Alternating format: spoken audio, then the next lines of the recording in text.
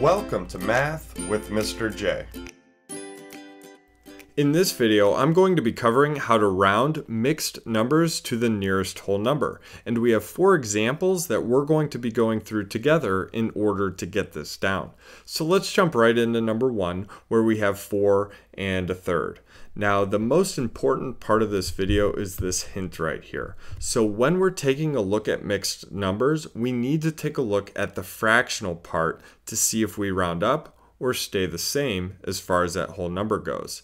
So if the fractional part is greater or equal to a half, then we round up.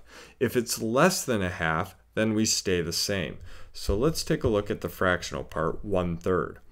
So half of 3 is 1 and a half. So this is going to be less than a half because we only have 1 for our numerator there. It's less than that 1 and a half, which is half of 3. So we stay the same. Our closest whole number is 4. So 4 and 1 third rounds to 4. This symbol here represents um, close to or approximately. And it's helpful when rounding because we don't want to use an equal sign. Uh, 4 and 1 third is not equal to 4. It's close to and rounds to 4. So that's why I'm using that symbol there. So on to number 2 where we have 9 and 6 tenths. So let's take a look at the fractional part and we need to determine if that's greater or equal to a half or less than half. So our numerator is 6. So we need to think, well, what's half a 10? 5 tenths is half. So we have 6 tenths. So that's greater than a half.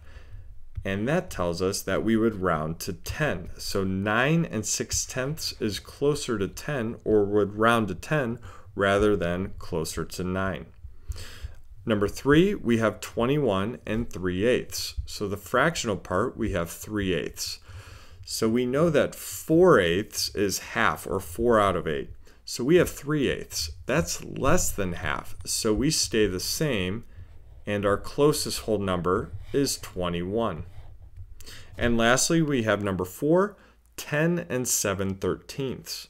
So this is an odd number, so we don't have a whole number as far as what half of 13 is half of 13 is 6 and a half, so we need to see if this numerator is greater than, equal to, or less than that 6 and a half. So 7 is a little bit greater, so this is a little bit more than half, so we would round up. 10 and 7 thirteenths rounds to 11, or is closer to 11.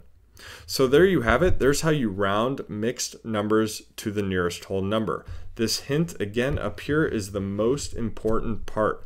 Take a look at your fractional part. If it's greater or equal to a half, you round up as far as that whole number goes. If it's less than a half, then you stay the same. I hope that helped. Thanks so much for watching. Until next time, peace.